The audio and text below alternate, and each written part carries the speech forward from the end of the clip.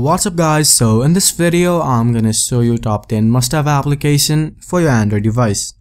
All of these applications are really good and I'm sure that you'll find some applications for yourselves. So let's move on to the applications now. The first application on the list is called Facets. The wallpapers that you just saw on my devices were from this application. Uh, in this application, you will find 365 unique wallpapers created by an Australian artist named Justin Maller.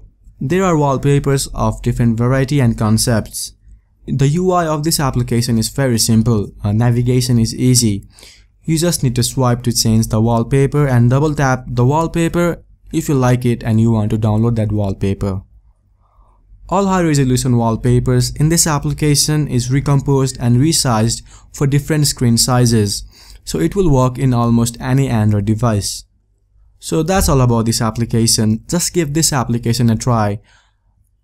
The wallpapers are simply amazing in this application. The next application on the list is All-in-One Toolbox. I have shown this application in one of my previous videos, but now it has received a major update, completely changing its design and improving its performance. So this application provides a lot of essential tools to improve your phone's performance. In the main screen, you'll find three options. The first one, called Boost, which will kill all of the processes currently running. You can choose which process you want to kill and which you don't. The next option is called Clean, from here you can clear cache and free up space used by unwanted files in your phone. The next one is called Toolbox. Here you'll find a lot of tools. Batch install and uninstall will help you to install and uninstall applications in a batch. Then you have backup and restore, which will let you to backup an application and then restore it in case you delete the application or reset your phone. The next one is System App Uninstall, which will help you to uninstall applications that came pre-installed when you bought the phone. Uh, boot Speedup will enable you to choose which application you want uh, to load when your phone boots up. And from Startup Customize, uh, you can add applications that you want to load as soon as your phone boots up. You can also add plugins in these applications. Uh, you, you can add Ad Detect plugin, which will help you to remove annoying ads from applications. So that's all about this application. The next application on the list is Action Launcher 3. So that's the current launcher in my Galaxy Note 4. It's a simple launcher updated with material design with a very easy to use layout and a lots of useful features. The design of this launcher is very similar to Android 5.0 Lollipop's default launcher. You can long press for menu which looks exactly as in Lollipop. Swiping from side will give you access to Quick Drawer where applications are sorted alphabetically. You also have the option of the traditional app drawer in case you don't like the side app drawer. In this launcher, folders are a bit different. You will find covers for a particular folder. Once you have set the cover for a folder, tapping it will open the cover application and swiping up will open the folder. It's a really useful feature, helps a lot. The next feature is called Shutters, uh, which will let you to open widget of any application with a simple gesture. You can swipe up the app icon to reveal the widget. Uh, this really helps you to keep the screen minimal and save screen space while having access to the widget.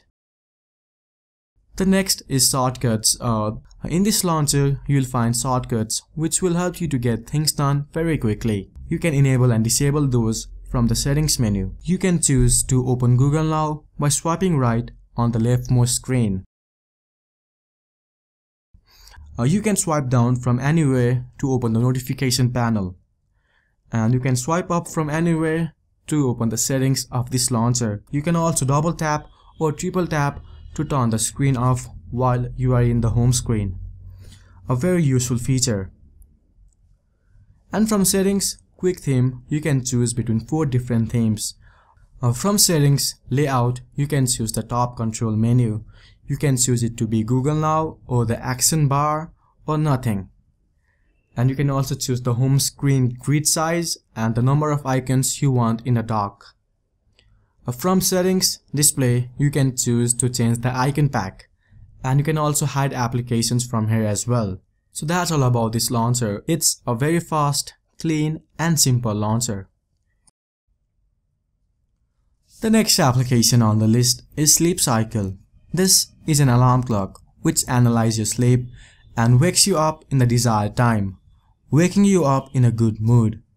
It uses the built-in accelerometer to do this. Once you open this application, you will be welcomed with a guide on how this application works and how to use it. From the first tab, you can set the wake up time and this application will find the best time to wake you up in a 30 minute interval ending at the time you just set. In the next tab, you will find sleep graphs where you will be shown a graph on how well you slept last night and below you will find some information on how much time you have spent in the bed. In the next tab, you will find settings menu. From here you can change the volume, the alarm sound and snooze time. Here you will find an intelligent mode which will determine when to snooze back again to gently wake you up. And from below you can set reminders which will be displayed to you as soon as you wake up from the advanced settings. So that's all about this application. The next application on the list is Tasker. Android allows users to do a lot of things due to its openness and Tasker application takes full advantage of it.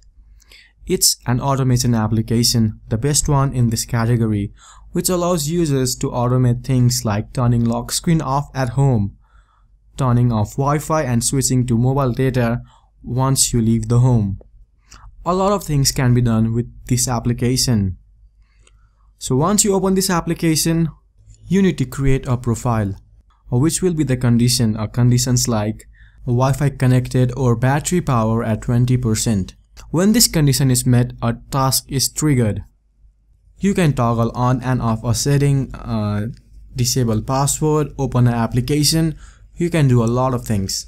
In this case, you can dim the display brightness and turn off Wi-Fi when the battery is below 20% to conserve battery. The possibilities with this application is endless. If you want to learn more about this application, check Armando's guide to this application linked below in the description box. So that's all about this application. This application actually makes your smartphone smart. The next application on the list is Seeder. This application is meant to kill lags in Android device. Uh, it does it by reducing the delay while launching application, uh, switching between them and while returning to the home screen. Uh, how this application works is that Android draws data from a predefined entropy pool, which is a random set of data. Many Android tasks consume a large amount of random data, so that it runs out frequently, causing Android to repopulate the entropy pool, which takes time. And at that time, the phone temporarily stops responding and you notice lag. Seeder generates that data in background and feeds the new random data so that it never runs out and there is no delay, causing the phone to be faster. As this application requires to write data in system level, your phone needs to be rooted to use this application. Once you open this app, there will be three different levels, light, moderate and aggressive, which will determine the frequency.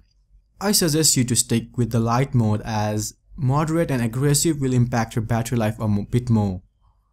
Nonetheless, you will see improvement on your phone once you get this application running. Battery consumption has been improved in the newer version, so I highly suggest you to try this application. This application can be found for free from XDA forums, linked below in the description box. The next application on the list is Snowball. This application aims to keep all of your messages in one place. Messages from all apps like Messenger, Viber, Skype, WhatsApp, and a lot more. Once you install this application, you need to enable it from notification access from settings. Then swiping from top right corner opens a screen where all messages are grouped together to a single place. You'll also find shortcuts to individual application here. Once a message is received, you will see an on-screen notification displayed on the top of the screen with the message and the sender's name. No matter on which application you are, it will be displayed on the top of the screen.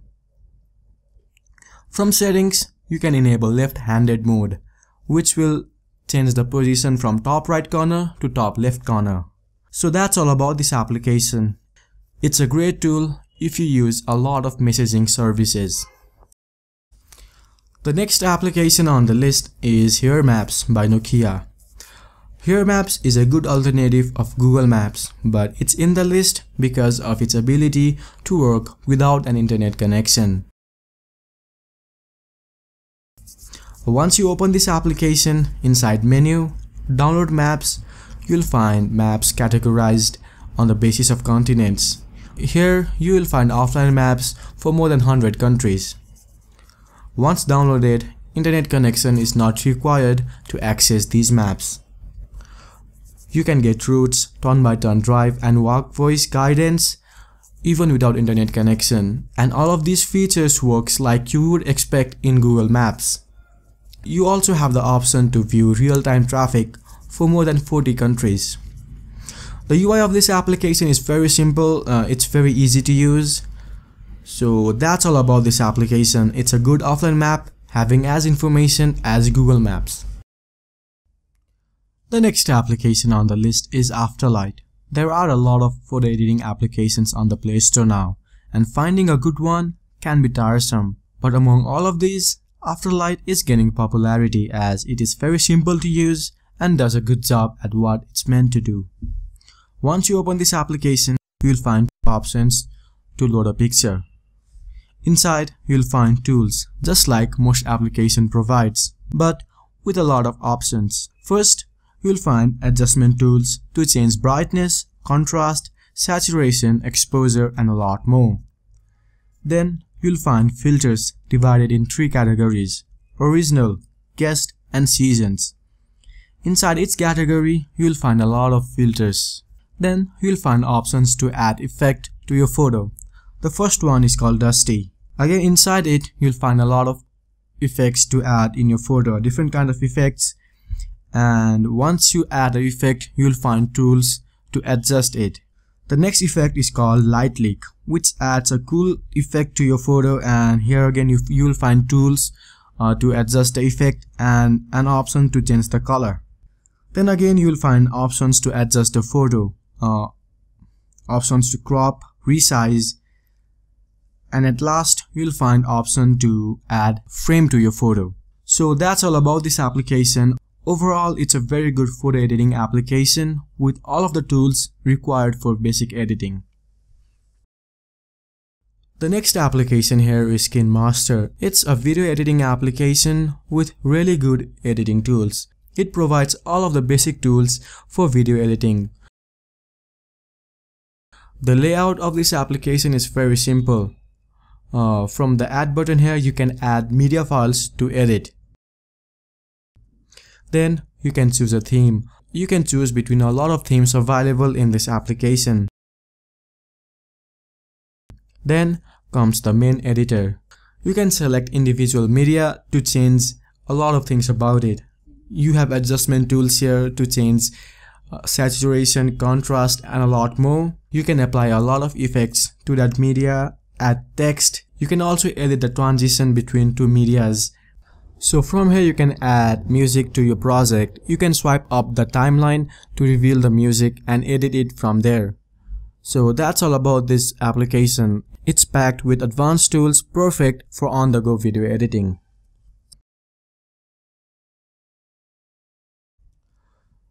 So that's all about this video. Hope you guys have found some applications for yourselves. And do check out my useful tips for Android video series where you can find tips to improve battery life and improve the phone performance. Those videos will be annotated in the video here and linked below in the description box. So that's all. Thanks for watching. Have a great day.